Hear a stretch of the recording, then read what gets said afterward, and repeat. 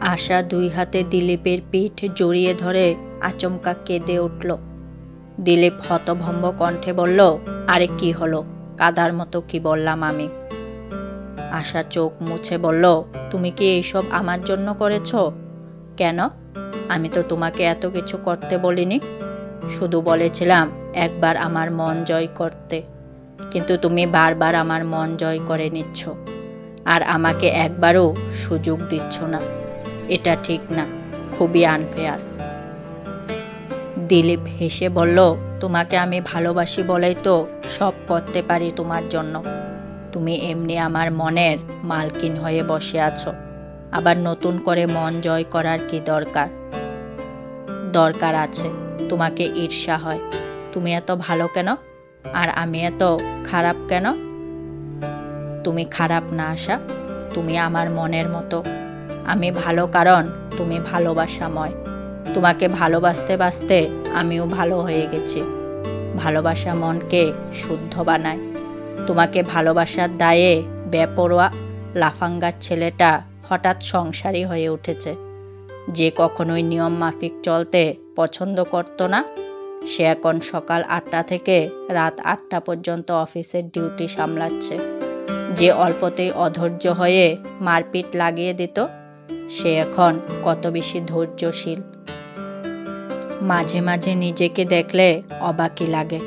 আশা তোমাকে পাওয়ার জন্য আমার এই পরিবর্তন। কিন্তু তুমি আমাকে কখনোই বদলাতে বলনি।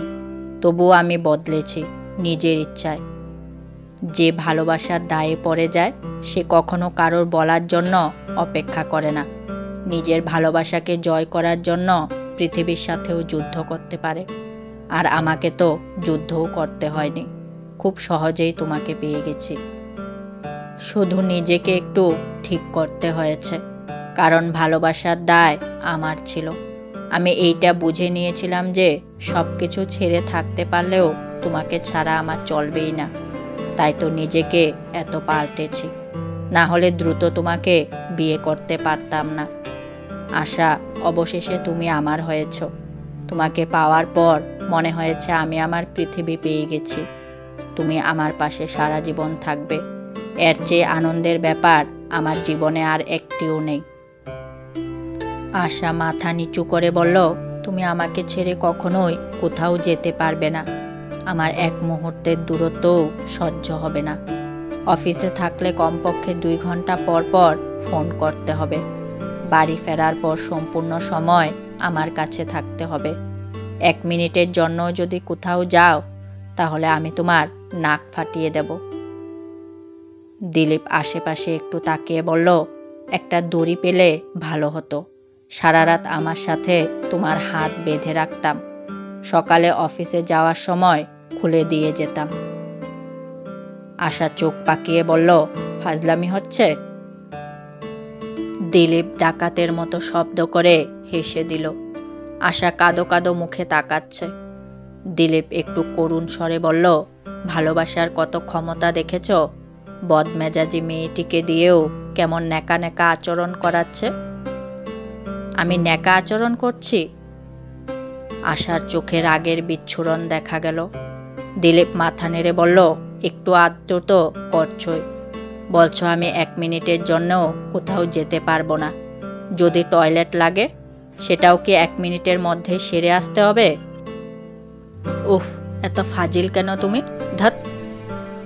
আশা রেগে বারান্দা থেকে বের হয়ে যেতে চাইল। দিলীপ হাত ধরে বলল, শোনো শোনো, স্নানটাও কি আমরা একসাথে করব? আল্লাহ, চুপ, একদম চুপ, তোমার মুখে আমি স্ট্যাপলার মেরে দেব। আশা বিছানায় এসে বসল। দিলীপ তখনও দাঁড়িয়ে দাঁড়িয়ে হাসছে। আশা দুই হাত মাথায় ঠেকালো। তার এখন এত লজ্জা লাগছে, হুট করে সে কেন এত আবেগী হয়ে উঠল? কারণটা আশার কাছে পরিষ্কার। এতদিন সে শুধু দিলীপের প্রতি মুগ্ধ হয়েছে, কিন্তু ভালোবাসা অনুভব করেনি। এই অনুভূতিটা তার কাল থেকে উপলব্ধি হয়েছে। সেজন্যই মন বারবার নিয়ন্ত্রণ হারাচ্ছে। আশার মন চাইছে খুব পাগলামি করতে। সে এতটাই আনন্দিত যে হাজার পাগলামি করলেও ক্লান্ত হবে না। তার পাগলামি করার খায়েশ ফুরোবে না। এই মুহূর্তে আসার আরেকটি উপলব্ধিও হয়েছে। এখন থেকে দিলীপের প্রতি সে সবচেয়ে বেশি নির্ভরশীল। তার মনে হচ্ছে পৃথিবীর সবচেয়ে ভয়ঙ্কর জায়গাতেও দিলীপের হাত ধরে সে চলে যেতে পারবে। তার একদম ভয় লাগবে না। শুধু দিলীপ সাথে থাকলেই হলো। আশার পাশে দিলীপ এসে বসতে আশার ঘোর কাটল। তবে দিলীপের দুষ্টুমির ঘোর এখনও কাটেনি। সে হঠাৎ গলা ঝেড়ে বলল আচ্ছা আশা, তুমি না একবার বলেছিলে আমি নাকি তোমার জীবনের সবচেয়ে বড় ভুল? এখন কি মনে হচ্ছে? সবচেয়ে বড় ঠিক? আশা চোয়াল শক্ত করে উত্তর দিল, সবচেয়ে বড় মিথ্যুক তুমি। দিলীপ ফ্যাকাশে কণ্ঠে জানতে চাইল মিথ্যাটা কি বললাম? আশা হাত ভাঁজ করে অন্যদিকে চাইল। অভিমানী স্বরে উত্তর দিল, আমাদের বাসরাতের কথা মনে আছে? তুমি বলেছিলে, যেদিন আমি তোমাকে ভালোবেসে পাগলামি শুরু করব, সেদিন তুমিও আমাকে একটা কথা বলবে। দিলীপ একটু মনে করার চেষ্টা করল। তারপর হঠাৎ চোখ বড় বড় করে তুমুল উৎসাহে বলল, এর মানে কি তুমি আমাকে ভালোবাসো? আশা লাজুক হেসে বলল, বুদ্ধু, এটাও কি বলে দিতে হয়?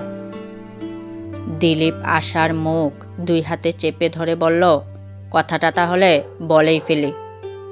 বলো। দিলীপ কোনো কথাই বলল না। আশাকে স্তব্ধ করে দিয়ে কথা বলার সম্পূর্ণ ব্যবস্থায় বন্ধ করে ফেলল।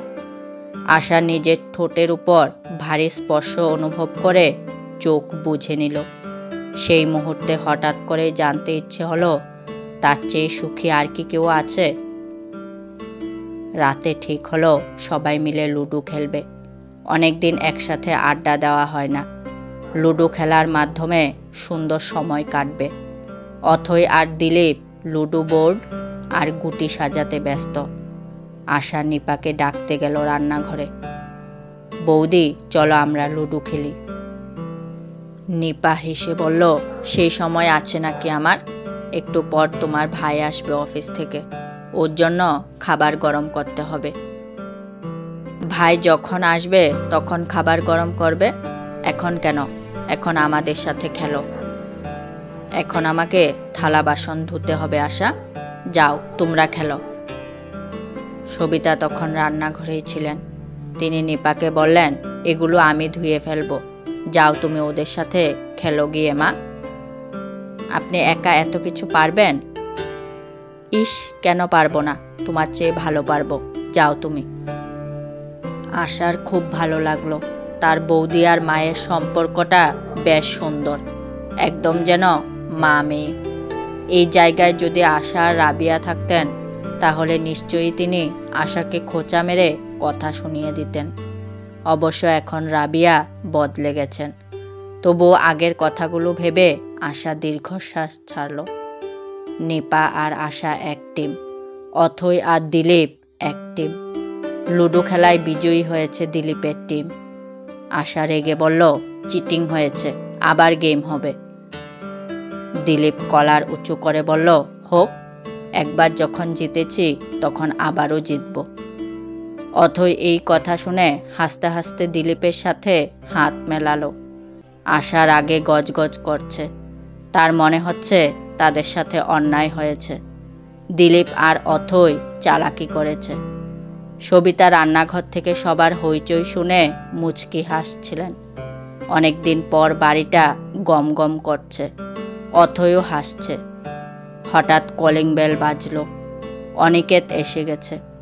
চার বছরের যারা দ্রুত দরজা খুলতে গেল। বাবা এলে সবার আগে দরজা খুলতে ছুটে যাবে এই মেয়ে।